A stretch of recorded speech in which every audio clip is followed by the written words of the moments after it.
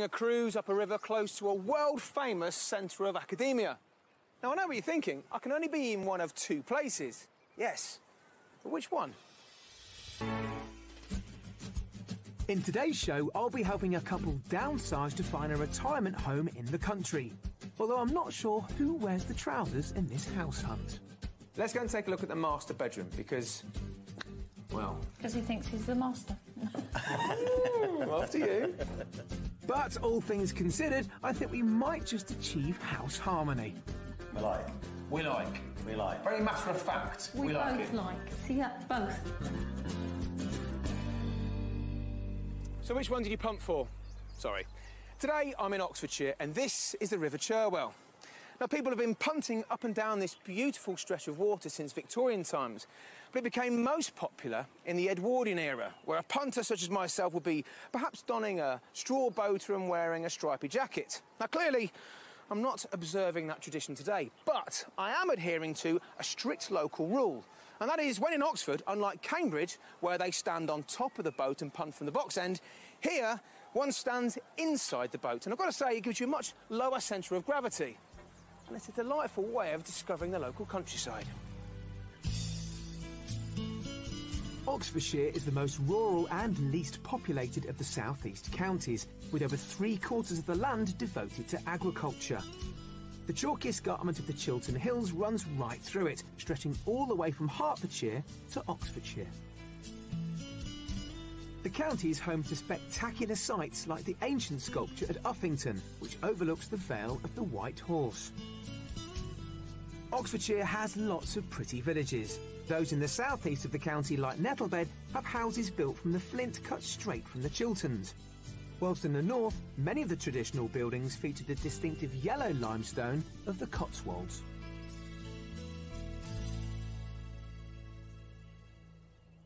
Picturesque rural landscapes like this, twinned with excellent road links into Oxford and London, are two factors that house hunters here in Oxfordshire are prepared to pay a premium for. The average cost of a detached house here in the county is £380,000. That's around £125,000 above the national figure. So let's take a look at a selection of properties that are on the market here at the moment. For £375,000, you could buy this charming 16th century cottage in Long Wittenham. It's been renovated to provide a stunning contemporary interior whilst keeping period features like the Inglenook fireplace in the sitting room and the exposed beams in the kitchen and bedrooms. Or there's this handsome stone cottage for £575,000 in Mollington. Exposed truss beams feature in the sitting room and above the fireplace. There's also a large conservatory, whilst the master bedroom boasts an impressive vaulted ceiling. For those of you with bigger budgets, there's this Grade 2 listed 4 bedroom barn conversion in Brize Norton for £675,000. It's been transformed into a luxurious home with a superb modern kitchen, a spacious dining room, contemporary country style bedrooms, and a beautiful landscaped garden. A great selection of properties there. Time to meet today's buyers and find out why they're ready to escape to the country. Stuart and Sharon retired from running their own dry cleaning business six and a half years ago. Their children have flown the nest, so now they want to downsize from their four bedroom house in Buckinghamshire and head to more peaceful surroundings. During the last few years, it's just it's totally changed. Uh, many young families coming in now, the children. We, feel like we the are. old couple We are in old. their own. Current home's not ideal. It's just got too big, really, isn't it? We don't ever sit in this room. Yeah, we- we have four bedrooms. Uh, so we only sleep in one. Uh, we've got three bedrooms that To oh, store my just, clothes. Just store clothes. It's not just the quest for more peace that's driving their move. Since their retirement, Stuart and Sharon have been keen to see more of the world. We'd like to downsize to really give us the opportunity to travel a lot more. I think we'd just like to go off and do a bit more. And have a smaller place that it's Yeah. easier to lock up and to um, to move, um, travel from. We want to move to the country. We really like walking, don't we? You like the golf. As long as it's near a golf club, fine. So the world is their oyster, but family ties are shaping where they want to move. We'd like to an Oxfordshire village, Uh, preferably so we, we're, we're still within distance of uh, all the grandkids, our children, uh, so we can visit everyone. Neighbours are quite important to me, so I'd like to live close to some people. Stuart, I think, would like to I'm live on his own in the middle of a field I am he's such easy. a happy soul. As you can see, these two are not always of the same thinking, especially when they describe what they want from their new home. I think we both have different ideas on the ideal property. I'd like mine to be two bedrooms, two bathrooms, open plan with folding, bifolding doors. Yeah, I think you might need three bedrooms or a study, knowing how much clothes you've got. I hate gardening. So we'd like a bit smaller. Smaller garden. garden, and preferably with a garage if possible. It could be a modern property, modern inside, or it could be a character property but modern inside. Well, at least they're sure on their finances. Ideally, our budget for the next property would be four fifty to four ninety thousand pounds. Now, any move to the countryside doesn't have to be all about the quiet life. They both said they want to remain sociable, so I don't want to find them anything too isolated.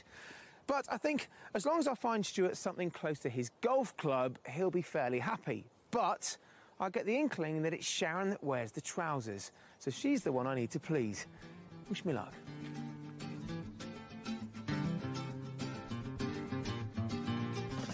Stuart and Sharon have asked us to look in Oxfordshire, where there are plenty of pretty rural villages and heaps of culture.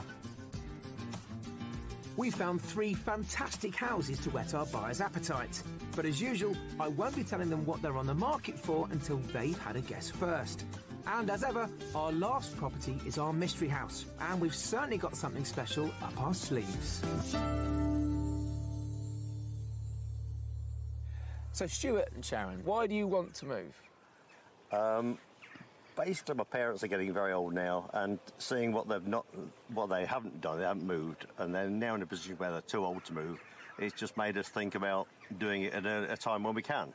So, this move up to Oxfordshire would make it more commutable. You want to be what, an hour and a half from your folks? That's right. Yeah, and we can still see the grandchildren and things. We can t- go with our coat rather than our suitcases. Now, house-wise, this is you know, this is why we're here. What do you want from the house? What's, what does your ideal house look like, Sharon? Just something we could lock up quite easily so that we could travel a bit more and um, Oh, well, that's interesting. So, this is a low-maintenance house we're looking at then. we are. We'd like something with a smaller garden, something we could lock up. I mean, we're surrounding this area by period cottages. We're looking for something old or something new. Something newer, really. Okay, why is that? Just easier to maintain, and it's not. It's a bit lighter. They're Yeah. usually not so dark, are they? The older properties have got smaller windows. They can be, yes, absolutely. Yeah, they look chocolate boxy. They look Yes. very nice, but not to live in. Well, chocolate boxy is often a term used to describe a house or indeed a collection of houses in a village. Is that the kind of environment you want to be living within? Yeah, I'd like to be part of a village life. So a bit of community there then? Yep. Okay, all right. So let's talk about the budget then. How much money are you looking to spend on this big move? Well, Sharon said I'd go up to 490,000. £490,000. Okay, good. Hopefully, the first house is fantastic, but if not, I want you to shout out why it's not. I can learn from there. Okay? That sounds good. Stuart and Sharon have a budget of £490,000. They are open to either a new build or a character property as long as it has a contemporary interior. They want two bedrooms, but I think they're going to need more to store all those clothes and shoes of Sharon's. They'd also like a place which they could easily lock up and leave, so a manageable garden is a must.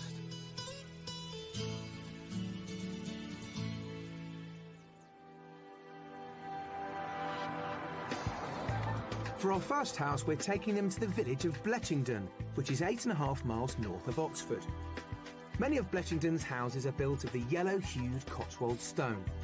This is a classic rural village with a green and an attractive pub. The house I'm showing them is a delightful period cottage that started life as three small farm workers' houses which have been knocked into one.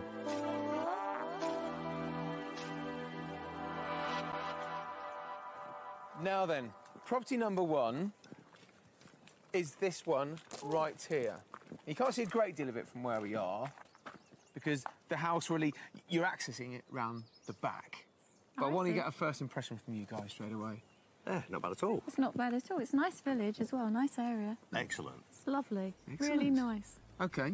Any questions so far? No. No, excited. Let's go and have a look. Let's do that then. Follow me. well, I'd call that a thumbs up. Let's hope the inside will keep the positives coming. Just a slight step down there. Thank you. Let's come straight to the kitchen first. Oh, that's nice. No, Is it? really nice. Yeah, I quite like the kitchen. Yeah, and it's got a range. Yeah. Do you like a range? Um, It's interesting that you're focusing on an old piece of machinery there rather than the house we're well, I've supposed got an to be old buying. piece of machinery. Goodness me, cheeky. So look, I'm glad you like it. yeah, I like the kitchen. Seriously, I really like the kitchen. Not bad. Not, Not not bad. bad. Faint praise from I, Stuart. I think it needs a new range. Okay. But All right. I like the kitchen very much. I like the oak doors. But she'd change it. She'd change it completely. Would she? She would. Go on then, Sharon. Talk me through it. Um, It's a good space, isn't it, for, for a cottage? Well, she's It ripped, is good well, She's space. ripped it all out and changed it. Yeah. What would you rip out? The lot. no, I wouldn't. I wouldn't change. The, She um, would. No, I wouldn't. I wouldn't change the cupboards. And I quite like the centre island. And this is big enough for you? Has it got a dining room? It could have. There's two reception rooms, so one could be a dining room. Because it's nice space and cosy as a kitchen, but it's Yeah. not big enough for entertaining. We've got a dining room possibly at the far end of the cottage. But let's go and have a look at the living room, see if that's big enough and bright Okay. enough. Okay. So then, the living room, tell me what you think, because I know you will. Dark. Now, now. It's, Dark. it's just a bit dark for my taste, I think. I like things a bit lighter. Could you make this better for yourselves? Or livable for yourselves? Yeah, you certainly could. You could make it a lot lighter. Certainly, I'd lighten up the fireplace, um, lighten up the curtains, and I'd like to see the rest of the house and see how we go from there. So I'm, at the moment, straight away, I'm sensing there's a but. You're saying, yes, I could do this, I could do this, but there's, there's something that you're not giving me at the moment. Would you say that's fair? True. Yeah, true. I think we're keeping an open mind to see the rest of the house first. Okay. All right, well, let's do just that. Follow me. Okay. A cool response to this room, but I still think the upstairs might win them over. On the first floor, there are two modestly sized double bedrooms and a sweet little single room, which could work as a wardrobe for all of Sharon's clothes. There's also a fair sized family bathroom right next door to the master bedroom. Come right in, 'cause I I rather like this bedroom. Let's see what you think. This is a nice size. Isn't it brighter up here, though? It's much lighter, much lighter. It shows you what a difference the paint can make, doesn't it? And that's all the difference is. In fact, you've got lighter floor covering and mm. lighter coverings along the walls. This is lovely. See, okay, we're still not getting blown away by this, are we? Would you like a bigger bedroom? No, bedroom size is nice, and the the two windows are nice. The dual aspect's nice. Now, what else did you ask me for on your Two toilets. two toilets? Two toilets. There are two toilets. Now, you happy with two toilets and one bathroom? Like two bathrooms, but one extra toilet would do. Okay, well you've got the you've got the basic minimum. You've got a bathroom and a separate toilet downstairs. Wasn't the bathroom next to this, so you could Yes. actually open the doorway there and go in as an ensuite from there, close it off, and make another bedroom. That's a really good idea. See? That's a really good idea. so that bathroom next door, the family bathroom mm. becomes an ensuite, mm. and then maybe you can make a separate bathroom down here. Mm. She's been a designer, I tell you. All right. Things are looking up now. Sharon can see the possibilities of this house. I'm going to show them another room which they could convert into that second bathroom.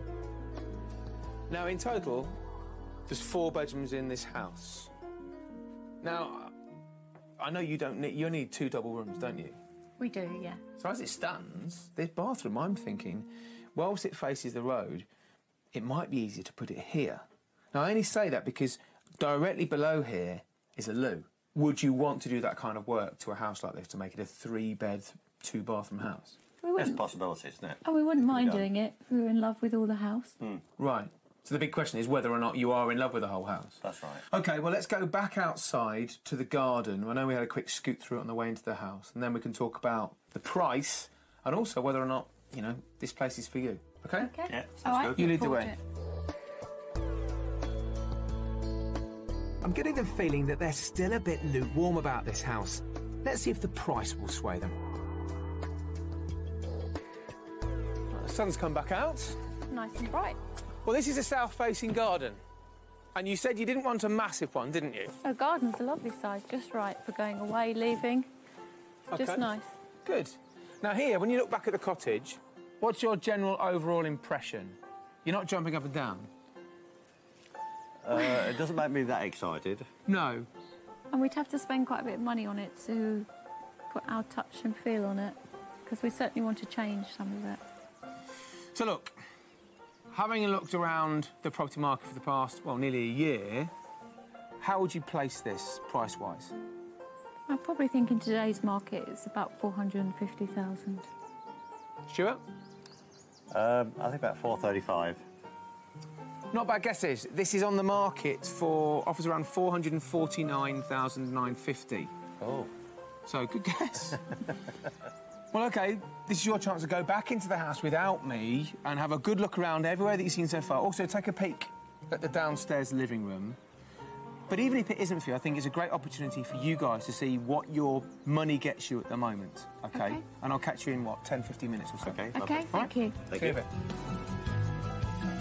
So, for just under £450,000, this characterful 18th century cottage has a beautifully modernised kitchen and breakfast room, complete with the country essentials of beams and a range.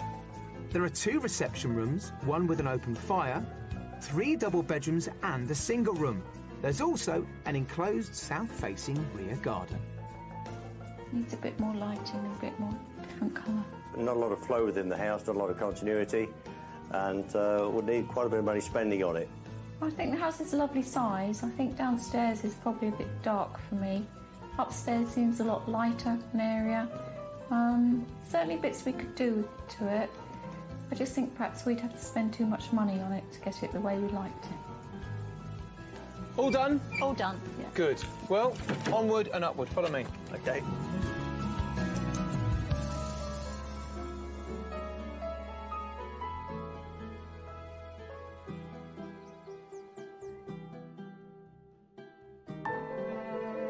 When Stuart and Sharon moved to Oxfordshire, their county town will be Oxford. Earlier in the week, we sent them on a tour of the city with local guide Stuart Holloway. Welcome to Oxford. Hi. The city has been a centre of academia since 1167, and by the 14th and 15th centuries, the town was dependent on the custom of students who provided a large market for beer. Nothing changes.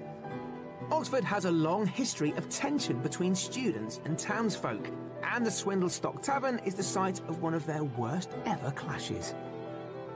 Here we are, right in the heart of the city, where the four roads meet in the centre of Oxford. So off, off to our left, we have the Swindlestock Tavern, where in the winter of 1355, after a dispute between the townspeople and the students, a riot erupted, lasting three days. 63 students were dead.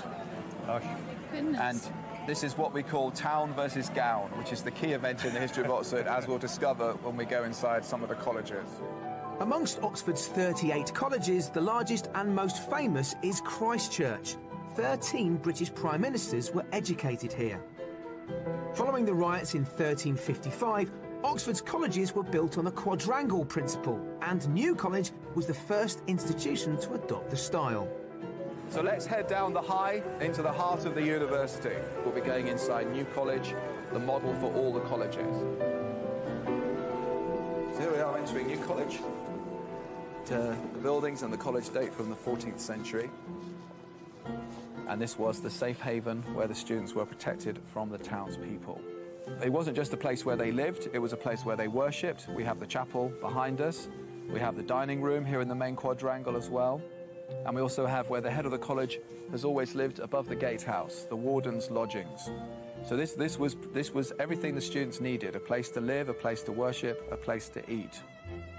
At the hub of any university is its library, and unsurprisingly, Oxford's is particularly impressive. One of the oldest in Europe, the Bodleian is the largest university library in the UK, holding over 9 million printed items. So here we are standing outside the main entrance to the Bodleian Library, the main library of the university, and it's entitled to a copy of every single book published in this country. and it's been that way since the early 1600s. And these are the buildings that date from when James I was the King of England. Breathtaking architecture is in plentiful supply here, and I'm fairly confident we can find more of it in the surrounding countryside. Time to crack on and find Stuart and Sharon an architectural delight all of their own.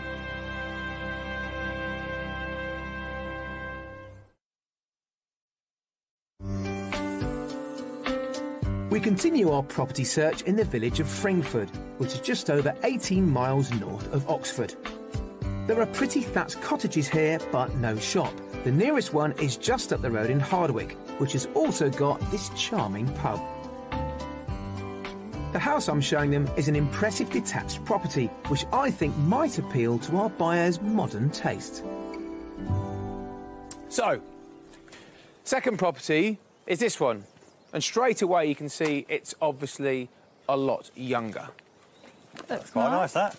Yeah? Yeah. That looks nice. So the house is built, the owners reckon around the 1980s, but you will see from inside that this is much more contemporary. So what you see at the moment, bit of off-street car parking, you've got your own garage. What do you think? It's really nice. Good. All right. Well, let's get inside and see what you think. Okay. This is more their kind of house, and I don't think the interior will disappoint. I'm taking them straight into the hallway. Now, what do you think of this? Before it was all about lovely. flow. Nice, bright, airy, lovely. Nice. Wow, straight really out. lovely. Very nice. Nice floor. Show us more. Well, I'm glad you said that. Well, this this is very different reaction than we saw in the first house. Different house. Completely different, isn't it? Totally. Yeah. Now, the owners have been here around 10 years, and when they moved in here, they gutted the place. They put these oak floorboards in. They've done a very clever extension over here, and they've extended it out and put a pitch roof on and give you this amazing room, haven't they? That's really nice. It's lovely. Like. Really nice. Really nice. Nice and light, airy, spacious. Everything we asked for. Everything So you asked for. So, So far. trust me, go with me on this I am one. trusting you. Now listen, the kitchen, you like the kitchen in the first house. This is a different style of kitchen, but it's got a couple of features I think you'll like and you liked in the first house as well. So follow me. So far, so good. I think the open plan layout of the property is working for them. Let's hope the kitchen keeps that momentum going. Okay then, so very modern kitchen. Yeah, I really like it. Do you? Very nice. Why? Why do you like it? It's nice, nice clean lines, big enough to eat in. It's got everything you could ask for in a kitchen. Madam would like this, wouldn't you? I would like this.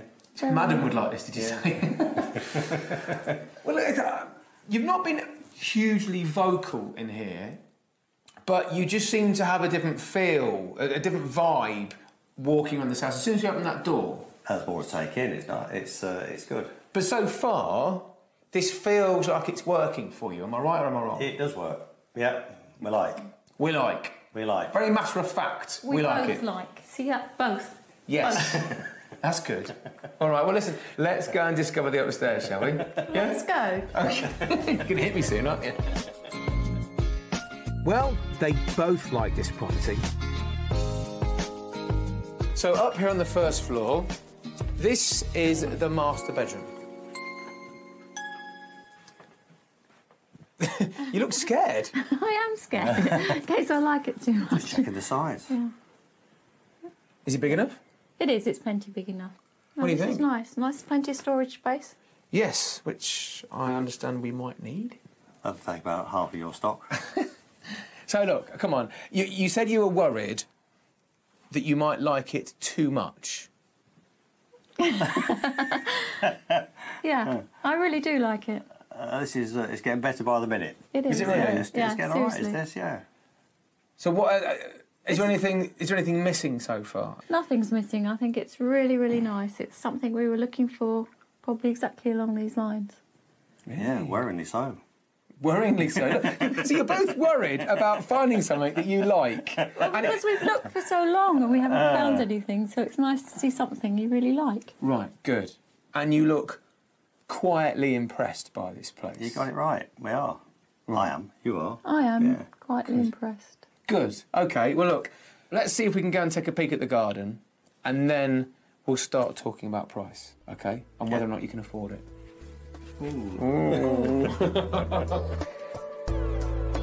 This house just keeps getting better.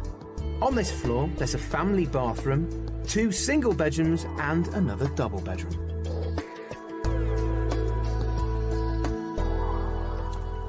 So, low maintenance garden was a task you charged me with. This is just right. Just the right size. Okay, well, how impressed are you? Because you've guessed, well, you guessed pretty much on the money at the first house how much it was on the market for. How much do you think this house on the market for? I think this one's a bit more than the other one. I think it's probably at the top end of the budget. I think it's about 500,000. Okay. Stuart? Well, I was going to go 499, but Well, you still can if you like. There's a pound separating you. yeah, I'll go 499. We'll toss for the pound. Yeah. Okay. this house is on the market for offers around £475,000. Peter. God, I'm surprised. So, what do you think? I think it's good price, good house. Well, why don't you go back into the house and have a good look around upstairs? Mm-hmm. There's three bedrooms or bedrooms stroke wardrobes that you could have a look at. and then, don't shoot the messenger. And then I'll meet you back outside. But take as much time as you want because it's the last thing you're doing today. Thank you. All right? Wonderful. I'll catch you later. Thanks, yeah, bye. Great. So, for around £475,000, this modern build has a stylish kitchen diner, a huge open plan living room with floor to ceiling French doors, four bedrooms, and the low maintenance garden they said they were after. I really like this house. It's got a nice feel to it. It's a nice open house. Flows nicely all the way through. Um, plenty of good points about this house. Surprisingly, I thought it was really good and I liked it very much. Um, light, open plan. Uh, It's everything that Sharon wants, going out, walking out into the garden, nice uh, flow throughout. Uh, hard to put any faults against it. It was really nice. To sum it up in one word, the house is brilliant. How did you get on? Really well. Really well? Yeah, Really it's well. pretty good that. Pretty good. Good. Well, hopefully this has been a good end to the day, has it? It's been a brilliant end Very to the good. day. This is promising.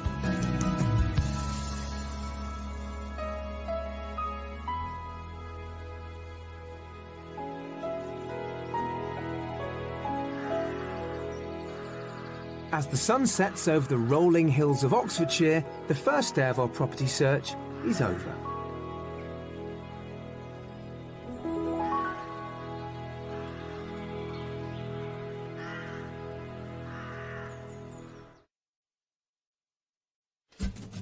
Recently retired Stuart and Sharon have pressed the last pair of trousers in their successful dry cleaning business.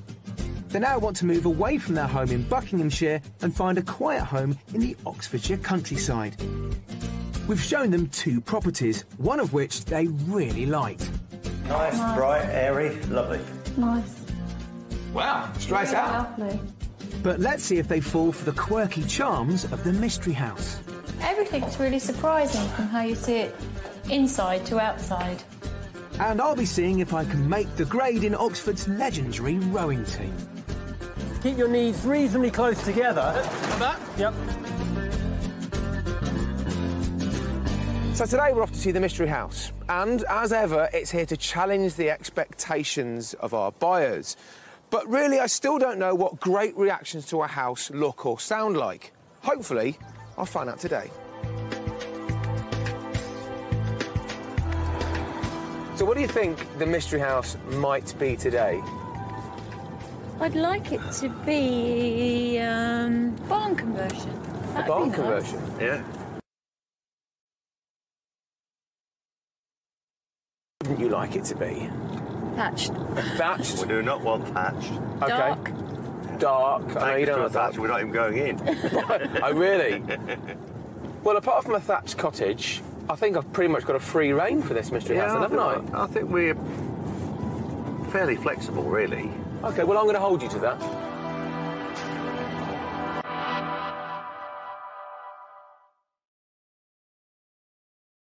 For the mystery house, we're taking them to the village of Kingston Bagpuize, which is 10 miles south of Oxford.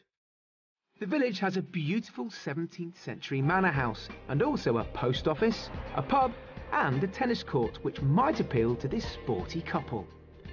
Stuart and Sharon don't mind a character home, but the absolute essential is a contemporary interior.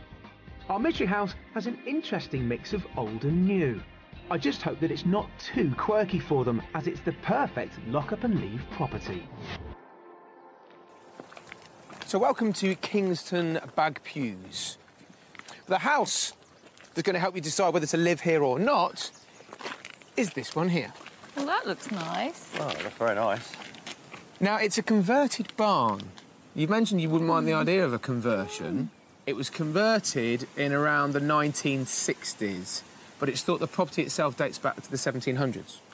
Now, what do you think of this? Look at that view. Lovely, all open fields. Views are nice. What do you think? Can't wait to have a look inside.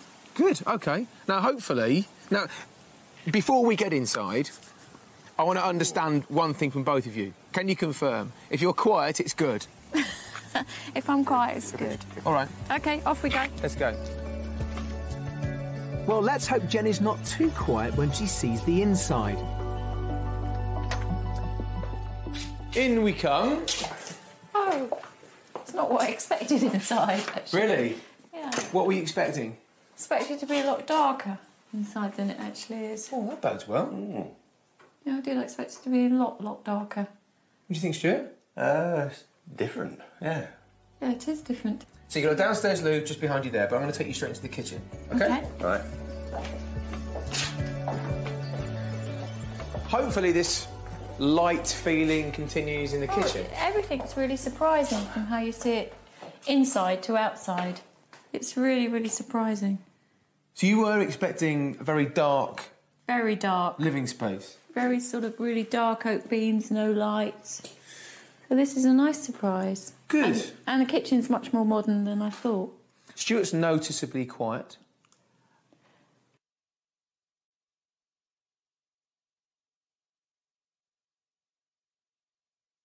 Go on, what's on your mind, honestly? It doesn't sort of um, inspire me so far. Right, why is that? I don't think it's us, but there we go. We'll we'll we'll, we'll, um, we'll go on a bit more. I probably like it a bit more than you do. I think it's a bit quirky. Let's see what you think of the living room, because one thing it has got is a flow, which I think you liked in the second yeah, I, property. yeah, I did. Yeah. So let's just take a wander through here and see what you think. Now, I think the living room's a really good size, but what I think is what you think. It is a nice size, yeah. I like how it opens up onto the garden and everything else. Well, that is one thing you said you wanted, isn't it? Yeah. Nice oak floor. Yeah, it is a nice. They put this in just over, I think, just about two years ago. Now, what do you think of this? I don't think Different. the Zimmer front garden. No, the Zimmer frame's not going to not going to go up there. I mean, this is it's an occasional room. the grandchildren like climbing up there. Yeah. They'd love it. So, Stuart, um, you know, I'm going to I'm going to prod you on this one. What's wrong with this house, or what what aren't you feeling about this house? Uh, it doesn't do much for me at all. None of it. Right. Why is that? Uh, it just doesn't. It's not me at all. I probably like it a lot more than you do. I don't like it at all. Right. well, yeah, barn conversions can evoke a very different response from people. So it, they are for some people, and they aren't for many others. Hmm. you two are perfect examples of that. Let's go and take a look at the master bedroom because, well, Because he thinks he's the master. Ooh, after you. So, opinion seems to be divided, but let's see if I can win them both over with the master bedroom. Now, the master bedroom is on the ground floor. Now, It's quite You- dark, isn't it? yes. I don't mind the bedroom being on the ground floor. I just think this is a bit dark for a bedroom. Essentially, this is the biggest room as well. So, I think this is actually your master, which is why they've made it en suite. Which you clearly love, don't you, Stuart? I love it. Yeah, I don't think. Well, Isn't it amazing? You seem to have really liked it up until this point. I did. I liked it really till this bedroom. But for you, Stuart, it's. I can't get enthused about anything in the house so far. Have a think about the price when we go outside. We'll go back through the living room, go to the garden there. Okay.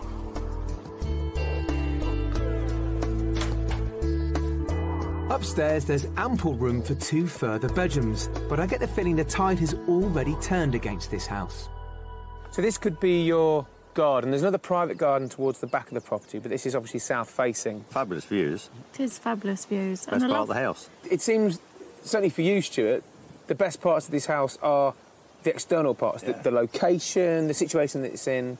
So, with that in mind, how much do you think this house is on the market for? Ooh. I bet it's quite an expensive village around here. I'll go first. Go on Fi- 520. So you think it's over budget? Yeah, I do. I don't. No? No. I think it's less.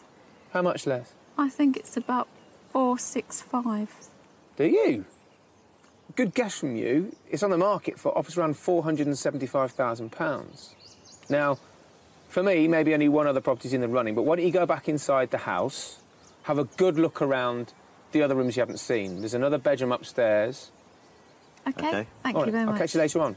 Okay. I'll be here, I think. Hopefully the sun will come out. This unusual and attractive take on a barn conversion is priced at around £475,000. It has a modern kitchen diner, a reception room with a vaulted ceiling and period beams, three bedrooms, and a south facing garden with stunning views over parkland. Gosh, look at this. This is looks pretty interesting, Mr. Sharon. Goodness. Right. I don't think we'll be able to climb up there in all days. I really quite like the house. As I entered the house, um, I thought the hall was quite nice and light. And I quite like the kitchen part of the house as well. I think the only thing I liked in the house was the oak floor and the uh, the flooring in the kitchen, which was quite nice. And as the more we got on, I thought definitely not for me. All done. All are we? done. Yeah. Good. Thank you. Now I think we need to find somewhere for you guys to have a bit of a chat, and then we'll discuss all that we've seen, shall we? Okay. Sounds good.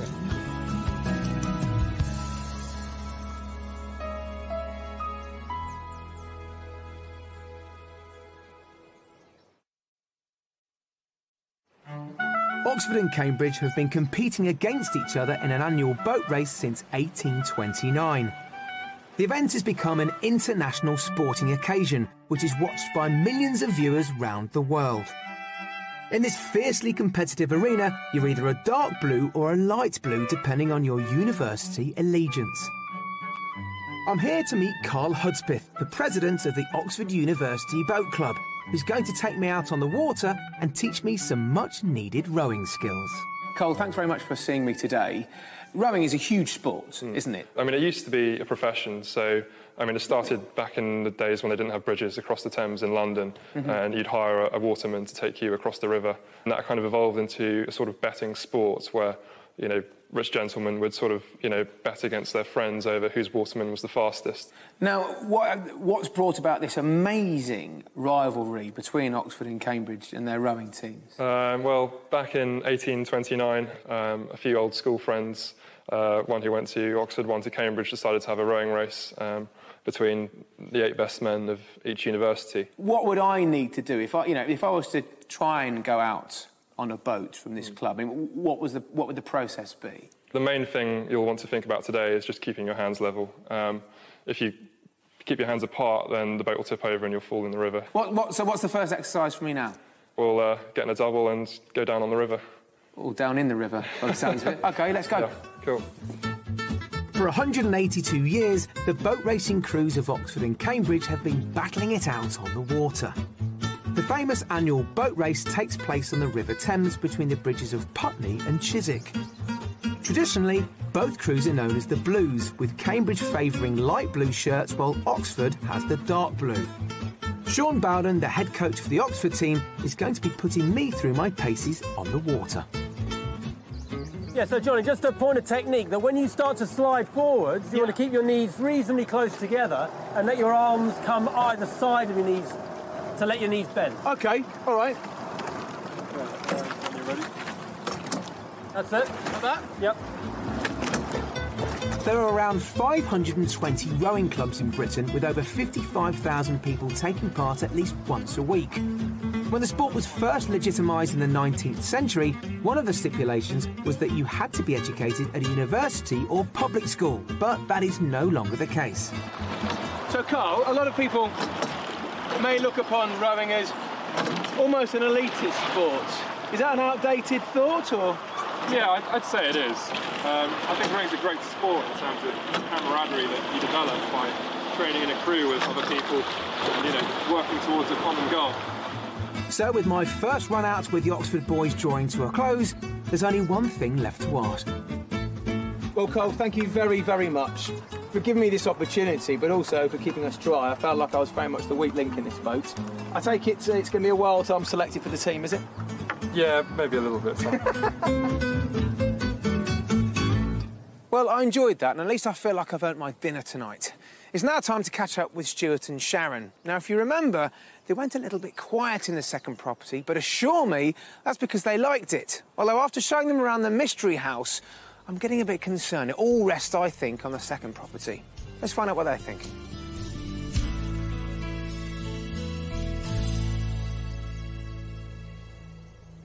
So, how have you enjoyed your time looking for Oxfordshire these past couple of days? I think you've shown us some nice houses. Is it the place for you to come and relocate to, most importantly, Stuart? Yeah, I think it is. It's a nice area. We like the area. Um, it's been very enjoyable. So cast your minds back to yesterday morning, the first property you went to have a look at.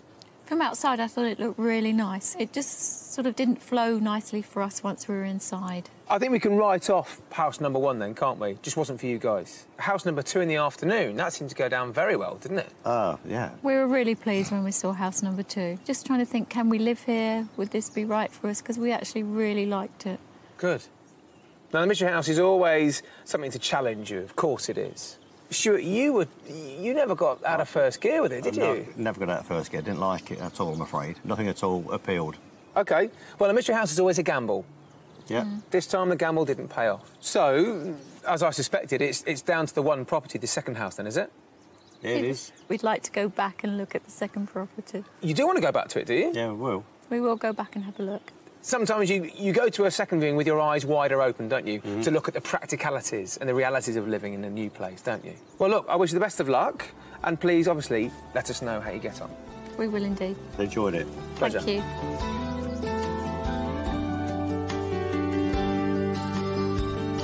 When you're given a fairly broad remit, it often means that the house hunters themselves don't really know what they're looking for, and they'll only know it once they see the property itself, once they walk through the front door. That property, according to Stuart and Sharon, was property number two. So obviously I'm pleased, although it just seems a little ironic, doesn't it, that that was the one house where they were the quietest. So I think now, for them, a second viewing is essential. If it is their favourite, they need to go back to that house, not only to look around it to see where they put the furniture, but also to investigate the area. Have a chat with their friends that live locally and see.